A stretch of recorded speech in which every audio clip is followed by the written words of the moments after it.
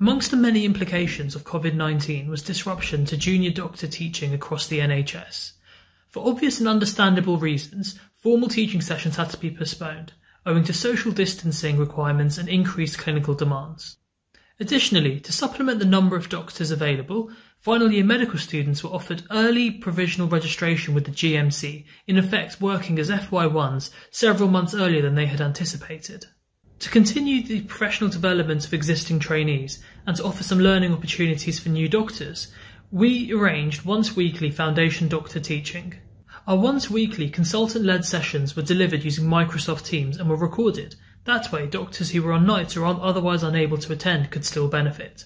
The sessions themselves were held out of hours and were therefore non mandatory. However, attendance could be recorded on the mandatory teaching log that foundation doctors have to maintain.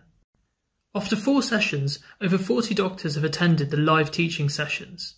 This equates to over 90 hours of teaching and does not include the number of doctors who have subsequently also watched the videos that we had recorded.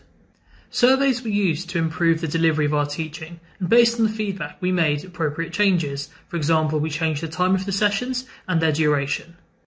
To gauge how effective the teaching was, respondents were asked to rate their knowledge out of 10 before and after attending the sessions.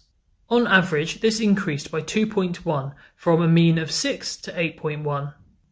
At present, most trusts offer weekly or fortnightly teaching, which can be difficult to attend if you're on call or not at work.